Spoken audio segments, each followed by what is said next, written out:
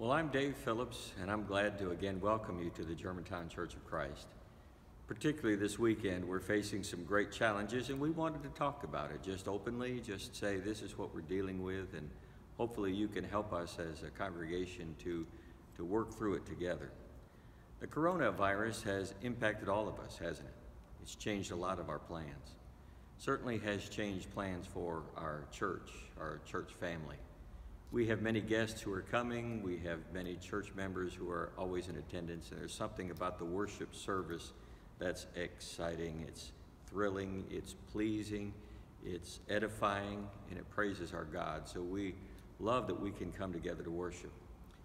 But with the coronavirus and with all of the changes that we're making, there are some things that we're going to be doing a little bit differently this weekend and probably in coming weeks. So we want to keep you informed by means of this uh, short broadcast. We even have a, uh, an update in our church bulletin that will explain more in depth what we're trying to do.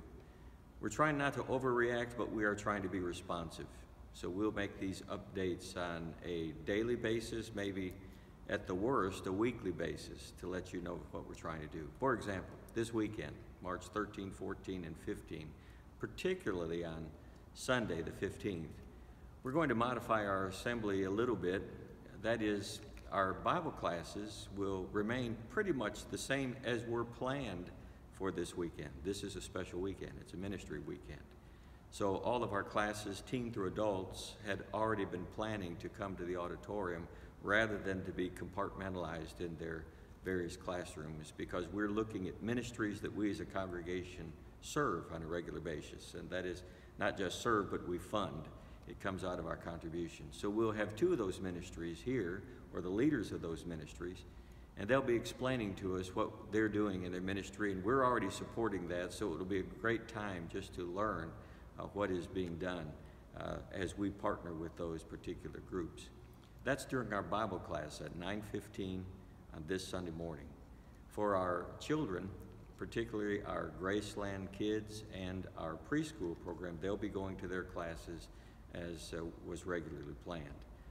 Now on Sunday morning, our worship service will do things mostly the same. We'll still have our 8 o'clock and our 10.30 worship service.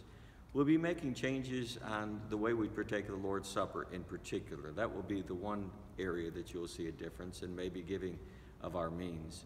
We'll be doing that uh, in a different way in that instead of taking the cups and the emblems, that is the cups, the wine and the fruit of the vine and the bread, instead of doing that the regular way, we'll be using uh, some cups. And I brought, I brought something that I used to make fun of because I thought, boy, this is almost pedestrian when you put the Lord's Supper in something that looks like a uh, coffee creamer. Well, in fact, that's what this one is. However, on Sunday, we won't have coffee creamers.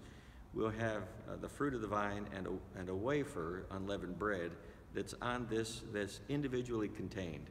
So it's as sanitary as we can find it we don't, we can't think of a better way of doing it. I say I used to laugh at these until I went traveling overseas and found that I was in a situation where we didn't have uh, Welch's grape juice.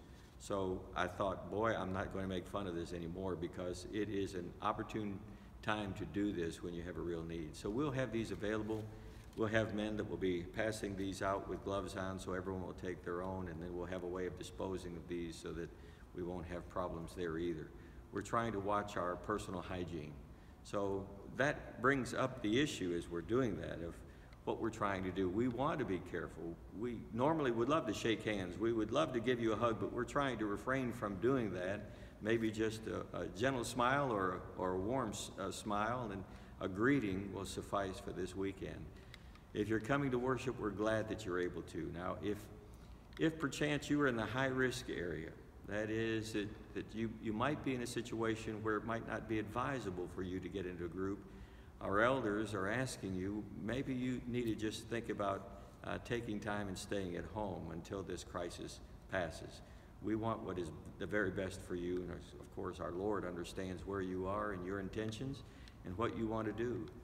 It may be that you or even your children maybe have a cough or a respiratory problem, and they might want to think about staying home. You might want to keep them at home just this Sunday only so that we can uh, make sure that we protect others so that we don't spread any diseases or anything, any virus that might cause a problem to other people.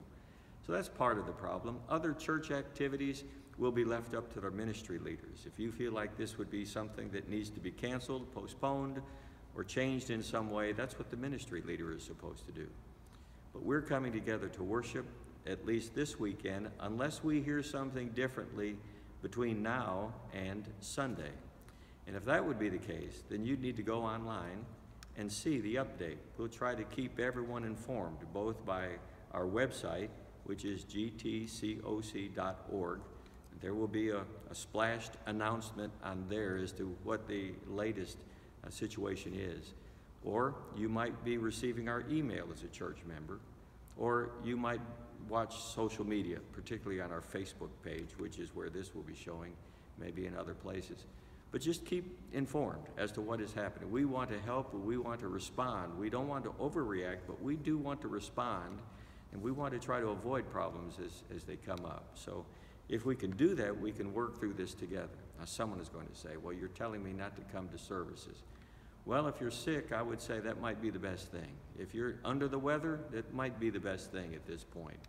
If you're at high risk, maybe you're not feeling well, maybe you are susceptible to those things, maybe at this point, at this point in time, it might be the best thing. Well, what can I do? Well, let me suggest something you might consider. We do live stream our services just for times like this, and maybe this is an opportune time for you to watch the services online. You say, Where can I find that?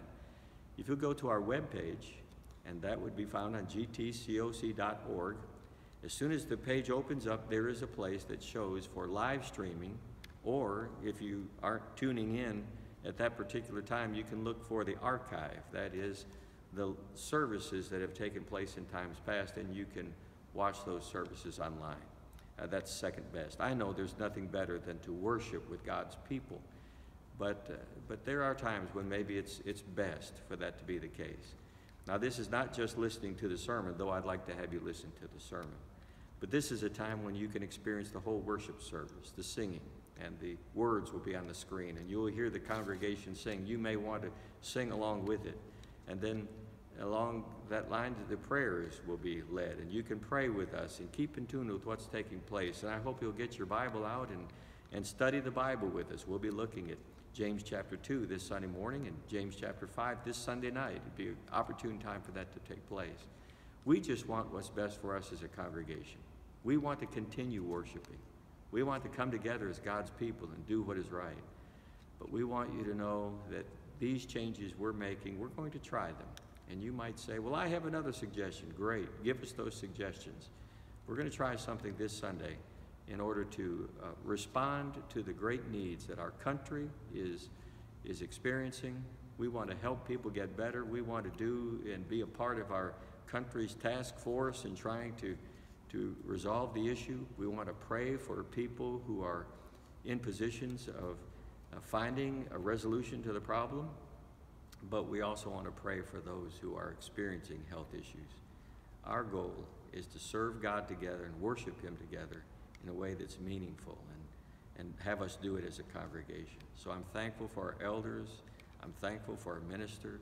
I'm thankful for every member of this congregation that is interested in serving other people. So we hope to see you Sunday and be patient with us as we learn and grow together. And if you can't join us on Sunday, we'll be praying for you and we pray that you'll get better and join us online, live streaming or through the archives. We hope to see and hear from you very soon.